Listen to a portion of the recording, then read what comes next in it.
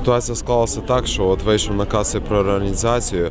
Е, Знову ж таки, без попереднього повідомлення, без того, щоб до нас хоча б хтось приїхав з Міністерства освіти, хоча б хтось обговорив цю ситуацію зі студентами, з, е, з викладачами, з трудовим колективом і з адміністрацією.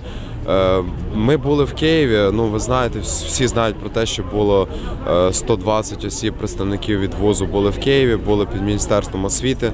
І е, заступник міністра освіти Самажина пообіцяла ініціативній групі студентству, пообіцяла те, що приїде робоча група для врегулювання цієї ситуації. Так робочої групи і не було, і ніхто цю ситуацію видно і не хоче врегульовувати. Знову ж таки, наказ про організацію побачили з на сайті, побачили соцмережах уже відгуки відповідно про це. Ну, як на мене, в першу чергу це неправильно так робити, що це не обговоривши, і ну не можна, щоб люди, щоб народ, звичайний народ, який згідно з конституцією джерелом влади взнавав про це із соцмереж чи зі сайту. Е, ну, звичайно, я розумію позицію студентів в першу чергу. Їхню позицію в тому, що вони вибирали навчальний заклад, що вони хочуть навчатися там, куди вони поступали. І е, я думаю, що сьогодні виразивши, виразивши свою таку позицію, на цьому не зупиняться вони. Що ймовірно, що будуть подальші якісь дії, будемо шукати зв'язок, щоб все-таки вийти на міністерство освіти, щоб все-таки напряму поговорити із міністром і зрозуміти, чому, що і для чого це робиться так. Це театралізована постановка того, е, що Міносвіти, е, що Кабмін хоче зробити з нашими правами, нашими інтересами. Е, Тобто е, всі ж знають, що е, студент має право на вільний вибір свого навчального закладу.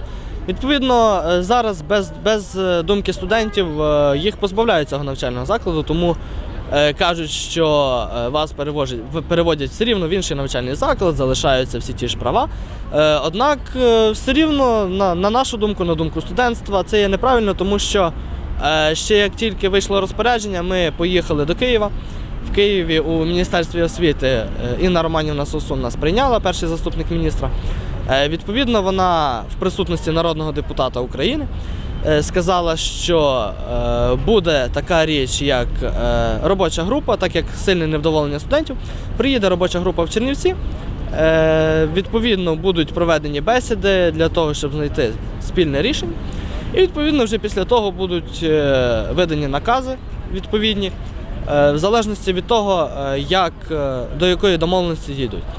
Після цього не було ніяких новин, і вже вчора ми дізналися, що верніше навіть позавчора ввечері, е, знову ж таки з інтернету, а не з офіційного повідомлення від Міносвіти, е, ми дізналися, що вже є підписаний наказ.